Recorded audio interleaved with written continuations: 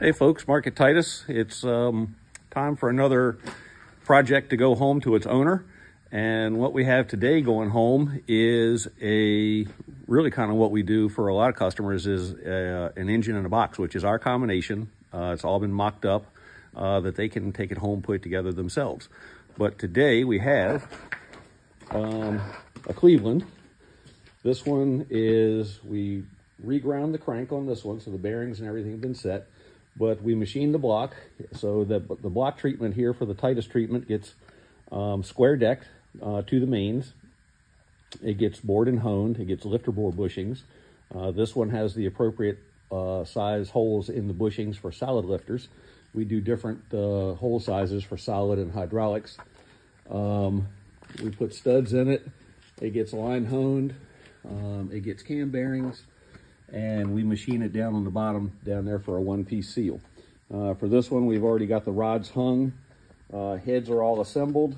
Um, we did the screw-in stud. Uh, this one has bronze guides, uh, springs, and everything to match our cam. Uh, we balanced the crank. Uh, down here, we have all the valve train parts as far as stud girdle, rocker arms.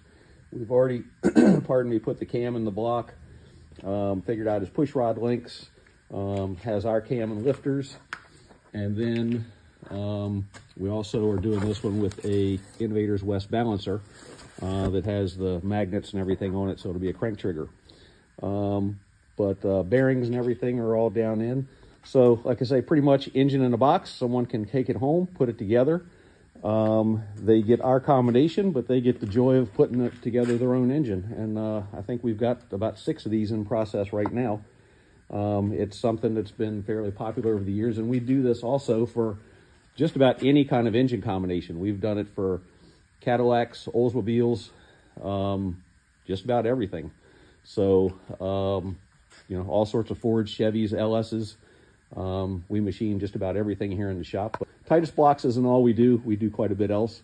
Uh, but this is just a little, just to show a little bit extra something that we do in the shop as well. Till next time, take care.